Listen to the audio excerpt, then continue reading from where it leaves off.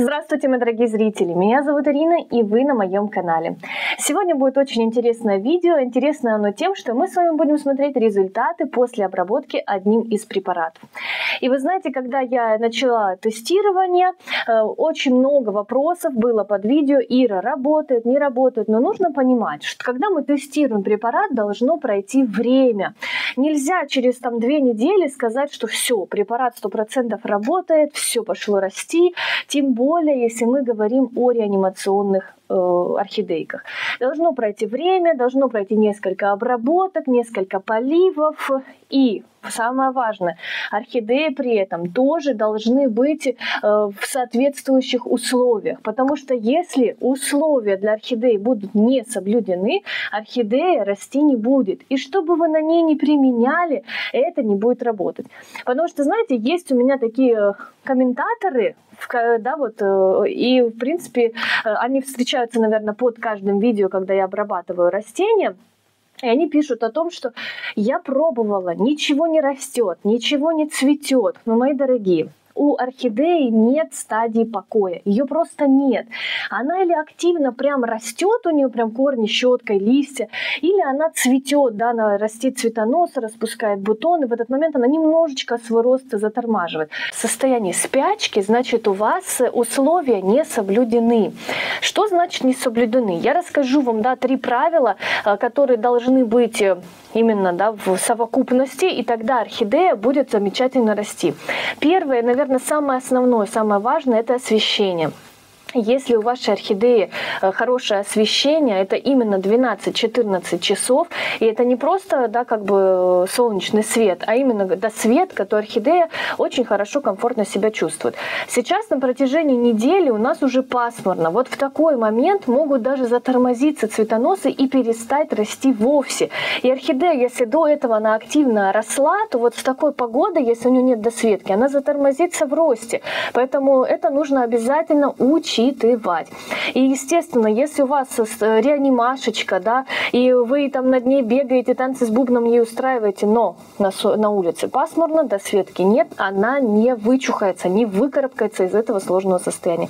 Поэтому первое, самое, да, как важно, это освещение. Им не нужно пренебрегать. Лучше приобрести даже какую-то бюджетную лампу, чем страдать да, от того, что орхидеи чахнут.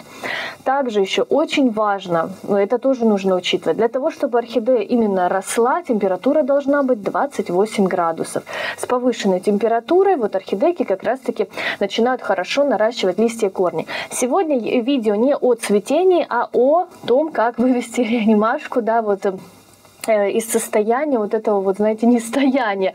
Поэтому сегодня не о цветоносах, сегодня о росте. Я говорю, что если вы хотите, чтобы ваша орхидея хорошо росла, температура около 28 градусов, плюс-минус. Тогда будет отлично расти и листья, и корни.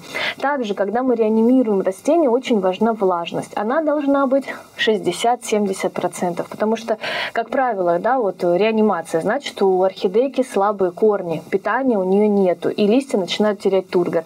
Поэтому влажность помогает сохранить тургор, потому что листья орхидеи также имеют свойство впитывать влагу, прям, да, вот из воздуха. Поэтому Влажность необходима. К тому же это тропическое растение, естественно, для него важность, очень, влажность очень-очень важна. Это 60-70%.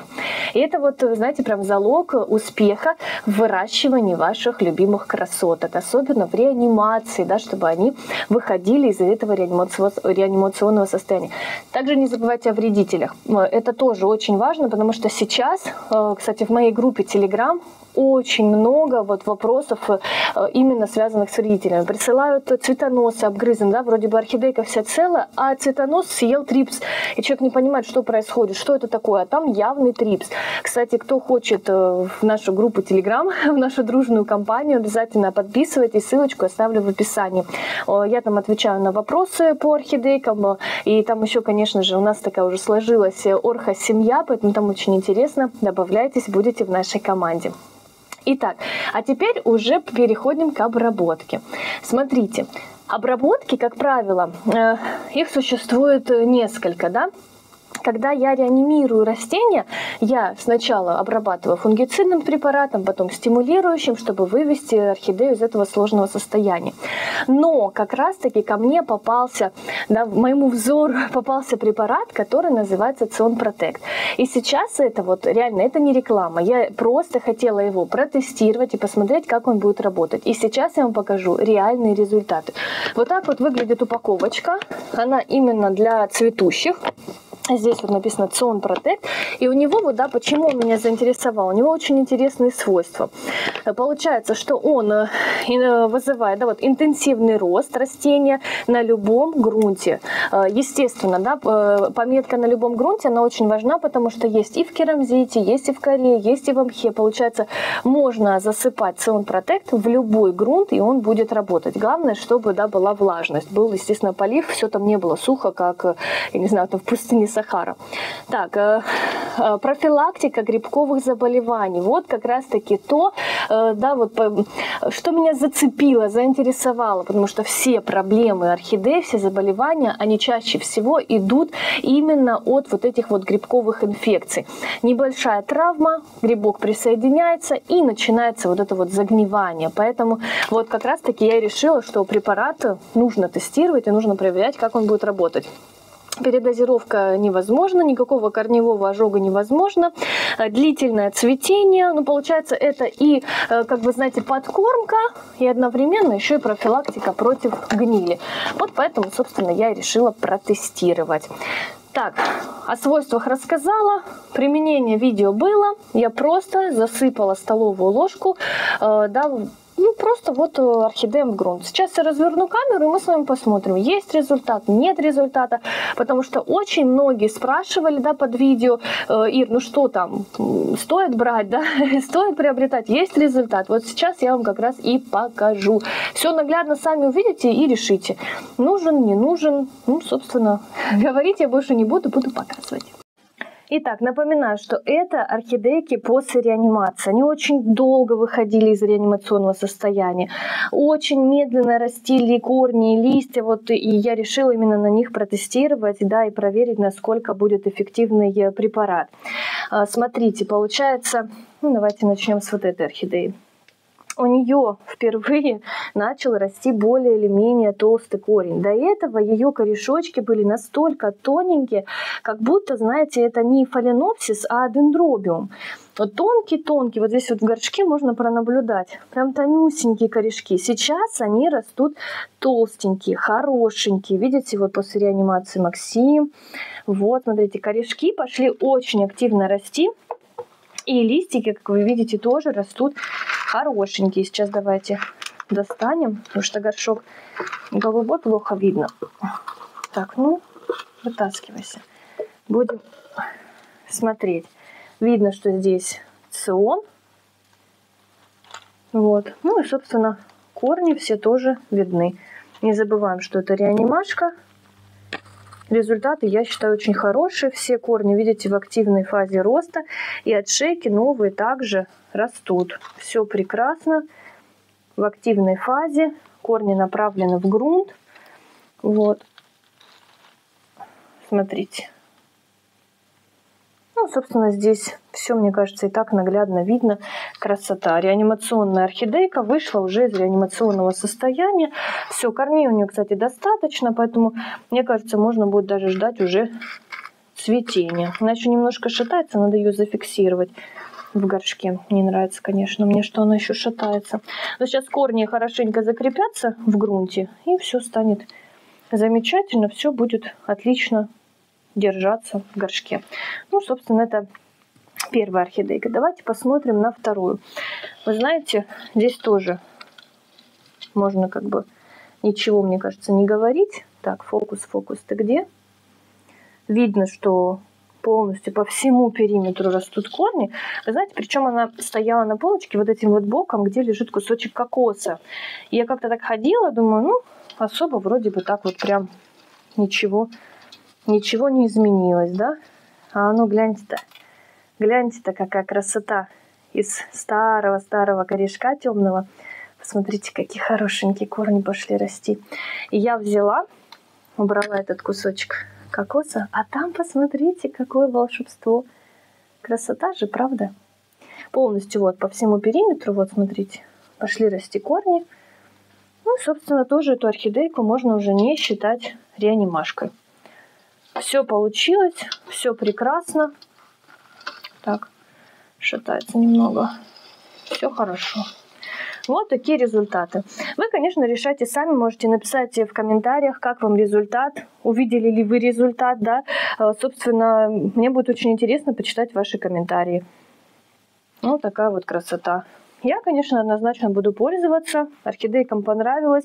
И, скорее всего, я даже во время реанимации буду сразу добавлять Цион Протек для того, чтобы орхидеям было легче выкарабкиваться из сложной ситуации. Ционпротек не является лечащим препаратом, это именно профилактика. Как я уже сказала, эти орхидеи были пролечены, они были реанимашками, и они очень плохо росли после реанимации. Вот я им добавила э, циона. И они, видите, как пошли в рост. И, собственно, все у них наладилось. Красота. Можно их уже считать здоровыми орхидейками.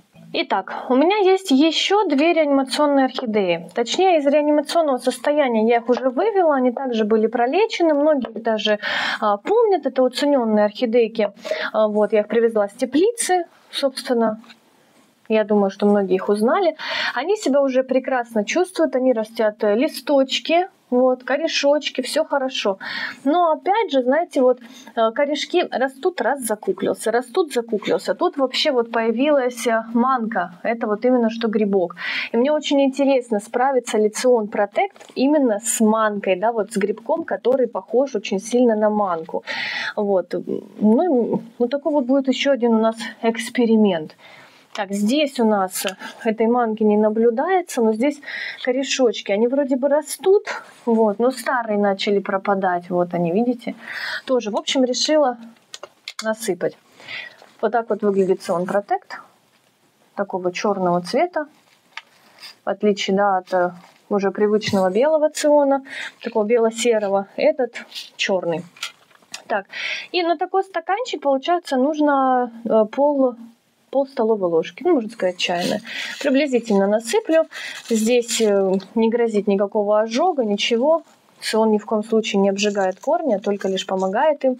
Еще, вы знаете, не нужно от э, препаратов ждать какого-то волшебства. Все-таки это препараты, это не волшебные палочки. Как я уже сказала, с учетом того, что вы правильно ухаживаете за орхидейками, они должны э, начать расти, даже вот именно от ухода. А когда вы им даете немножечко да, дополнительного питания, вот как раз-таки и идет вот этот вот рост, идет корни жирнее, да, листья мощнее. Если вот у вас ничего нигде не растет, не получается, обратите внимание все-таки на условия содержания орхидей. Вот, а здесь, собственно, вот так вот я проминаю, чтобы он прям падал в корневой системе. Вот так простукаю. Все, отлично. Он прям, чтобы он распределился, чтобы попало все на корешочки. Здесь стаканчики небольшие, поэтому много я насыпать не буду. Буквально пол столовой ложечки. И точно так же я сейчас простучу вот так вот, промну, чтобы прям провалился. Сон всегда работает так, что он должен соприкасаться с корневой системой растения. Вот, все. Отлично. Здесь даже, я думаю, немножечко надо добавить грунта, потому что корни, видите, новые пошли расти, и они как бы на поверхности, чтобы не подсохли. Все-таки сейчас батареи работают. Ну, собственно, и все. Вот такое видео с результатами э, применения препарата. Надеюсь, вам понравилось. Пишите свои комментарии, будет очень интересно почитать. Ну а на этом я с вами буду уже прощаться. И кто не смотрел видео с обработкой, я также закреплю комментарий. Посмотрите, собственно, до и после. Я думаю, это будет очень-очень интересно.